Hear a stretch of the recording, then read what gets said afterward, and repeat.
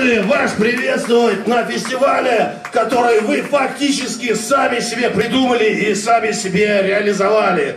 А почему? Потому что очень важно делать так, как ты решил.